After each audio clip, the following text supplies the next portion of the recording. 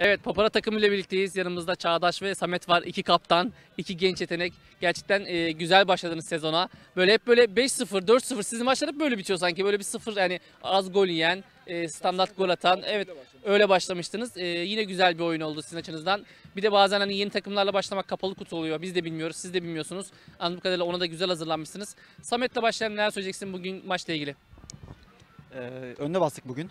Ee, bir genç takımız. Ee, enerjimizin farkındayız. Konuştuğumuzu, konuştuklarımızı yaptık aslında ilk yarıda. Skora çok yansıtamadık ama benim de kaçırdığım bir tane pozisyon var. Net pozisyon. Olur bir sonraki maçlarda atarız.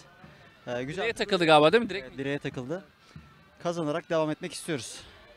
Teşekkürler yorumlar için. Evet geçen sezon TGS'yi yenilen tek takımdınız. Hatırlıyorsunuz o zaman da. Ee, hatta şampiyonu yenilen de tek takımdınız dediğim gibi. Yani gerçekten iyi işler çıkardınız. Çok konuştuk, çok fazla konuştuk sizi. Bu, bu sezonda gidenler olmuş, yerine gelenler olmuş. Hani önemli eksiklerin yanında önemli adamlar da kazanmışsınız. Hem ba- bahsetmek istediğin birileri var mı? Takım olarak birileri var mı? Ve de nasıl hazırlandınız? Bunu da senden diyelim.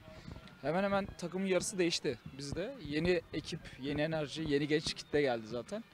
Ee, Business Cup'a katıldığımızdan beri 7. maçımız. 7'de 6 yaptık. Yenildiğimiz takım şampiyon oldu. Bu da bizim ne kadar büyük olduğumuzu bence gösteriyor.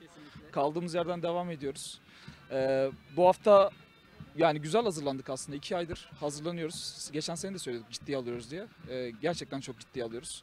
O yüzden sizin e, geçen seneki önerinizi dinleyip iki tane forma yaptırdık ama e, sağ olsun forma firması bizi mağdur etti. Biz de geçen seneki formalarımızla çıkma e, zorunda kaldık.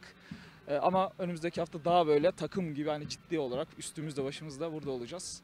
Umarım daha da mağdur olmadan devam ederiz. O zaman yeni formanızla yenilenmiş bir şekilde Papara'yı tekrar önümüzdeki hafta bekliyoruz. Kendinize iyi bakın, iyi akşamlar.